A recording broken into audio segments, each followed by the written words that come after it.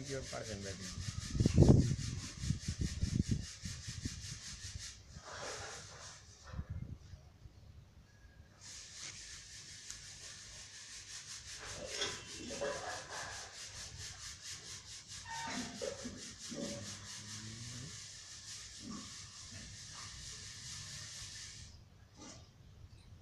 तो ये बात सही हो